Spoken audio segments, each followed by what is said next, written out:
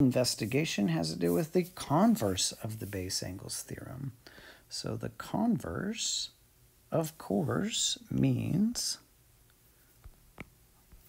that we're supposed to switch the if and the then statement. So originally it's if the two sides are congruent, then the two base angles are congruent. So here, instead, this is going to be if angle B is congruent to angle C, then AB is congruent to AC. Does it work? Well, we know we've talked about numerous times. Converse of a given statement is not necessarily true, so it does take a bit of investigation and proof in order to confirm whether or not it actually works. So let me take you through the steps. Again, you're going to need a compass and a straight edge in order to work your way through this little investigation. So you want to start with drawing a line segment AB. This time, um, we're going to make our two congruent angles, and this is going to be our base segment for our isosceles triangle. Okay, so you get to pick an angle for angle A. However, it can't be 90 degrees or bigger.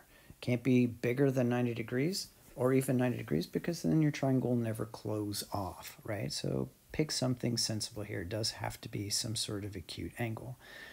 Okay, so I'm going to actually draw in my angle A. Now it says uh, draw it with your protractor, but I, am pretty sure you can just use a straight edge in order to draw yourself an acute angle there. Yeah, I think I, I got confidence in you that you can eyeball an acute angle here.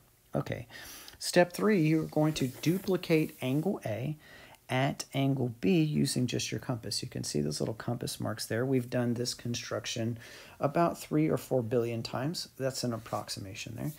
And uh, so that it goes in the opposite direction to complete off your triangle, okay? And then what we're finally going to do is that we're going to compare side AC to side BC. You can see that in this picture on step number four, it just stretches the compass from one side to the other side, and you're going to compare that compass setting to B to see. Okay, so in this next video, I'll take you through the steps, step by step, using my own compass and straight edge so that we can investigate this together.